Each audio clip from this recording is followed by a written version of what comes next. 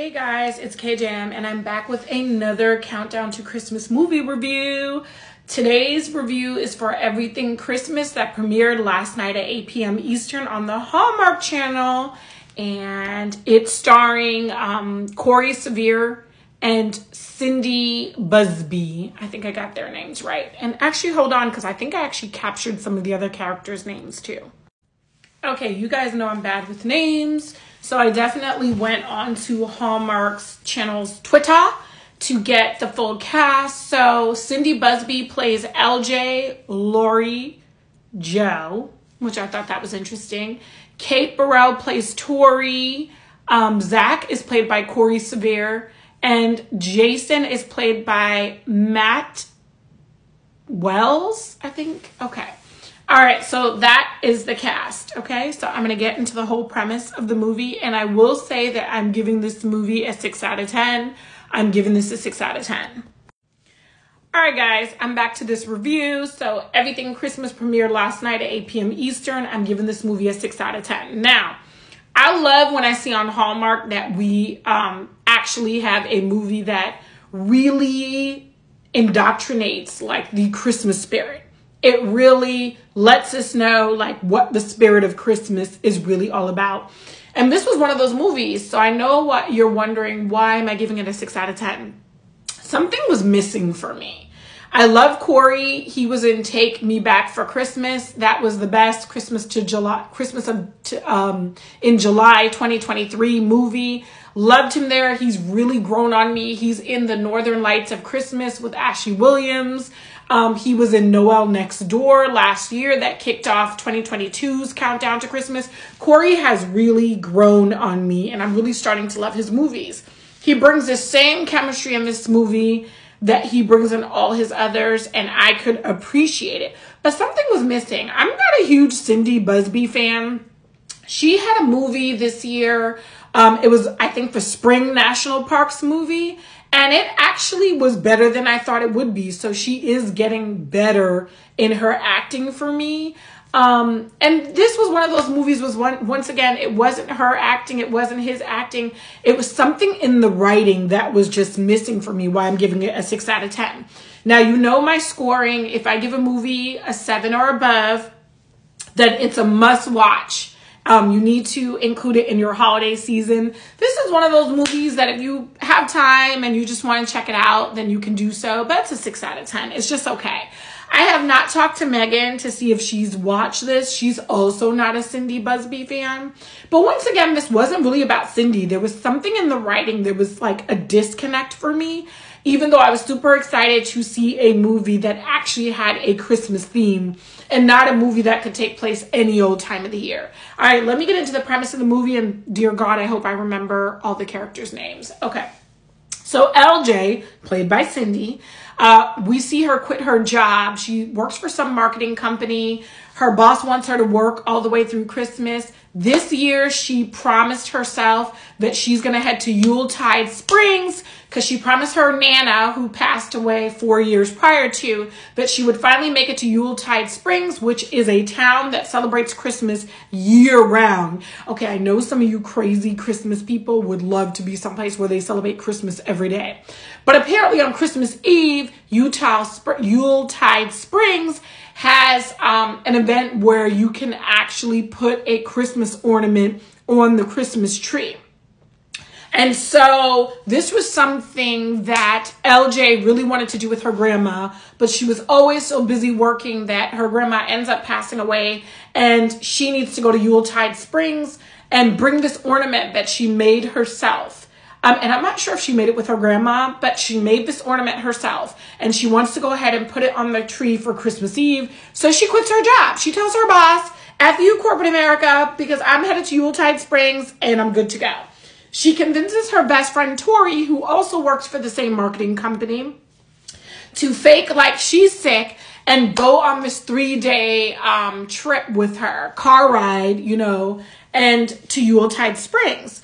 Tori doesn't really want to do it. She's kind of a Scrooge, but then she said, you know what? I want to support my bestie. I'm going to get in the car with her and we're going to drive for three days to Yuletide Springs. This means a lot to her. So Tori fakes sick and tells her boss she can't work on that marketing report over the holidays either. Not because she quit, but because she is sick. Sick and in the car with LJ on her way to Yuletide Springs.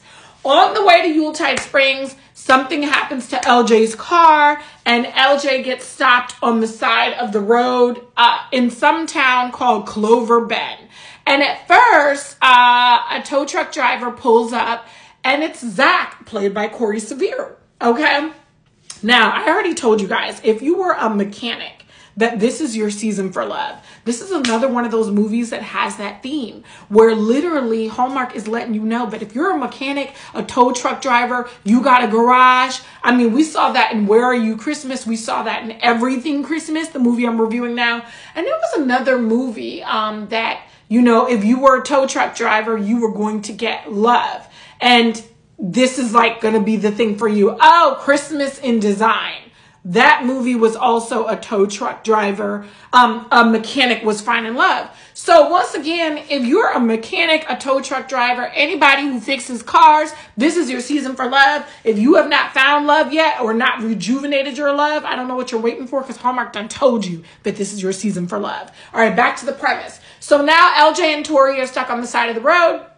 Zach shows up. He says he's got to go take care of something real quick. He'll be back in like 15 minutes. But only he ended up coming back like over 45 minutes later. So who rescues LJ and Tori from the side of the ro- road? Kris Kringle, baby.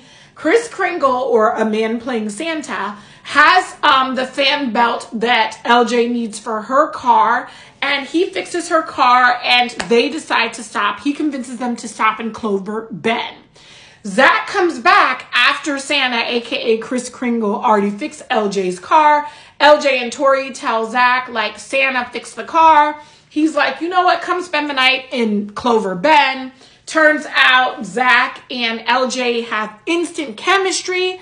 And so LJ's like, okay, we can stop in Clover Bend for the night, no problem. Cause I'm gonna check the Zach situation out, even though my car don't need no fixing no more. Cause Santa already hooked me up.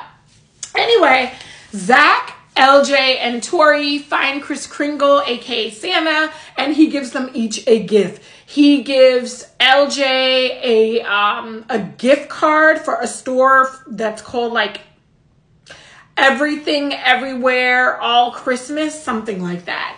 He gives uh, Tori a stamp, and then he gives Zach. He gave Zach. What did he give Zach? Oh, um, a fortune cookie. So they each got a gift from Santa. On, uh, on the way, all these magical things start happening. And yet, LJ and Tori still have to go to uh, Yuletide Springs and they need to get out of Clover Bend. They start to get out of Clover Bend, but they keep running into Kris Kringle and Zach in almost every town they stop. And also, Tori meets a guy, Jason, after she's mailing a postcard to her niece and feeling sorry that she couldn't spend Christmas with her niece. So it turns out Santa's three gifts the gift card, the stamp, and the fortune cookie bring all four people together. So what I loved about this is we got to see Tori and LJ's friendship. We also got to see Tori and LJ both meet wonderful guys, Zach and Jason, on their way to Yuletide Springs.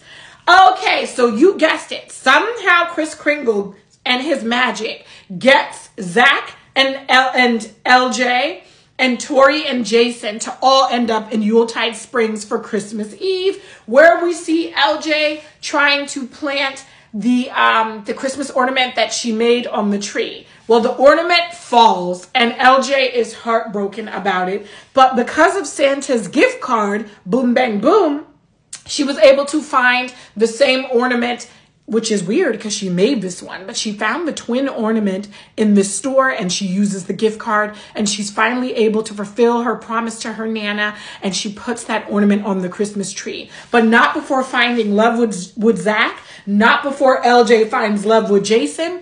And then here's the thing that I just, why I'm giving this movie a six out of 10. They made Kris Kringle human instead of like they let us know like Kris's real last name, instead of keeping the Christmas magic and making this something magical between everyone, they actually reveal that he's a real person and he's kind of a uh, like a magician. All right, I, I'm gonna have to do a part two.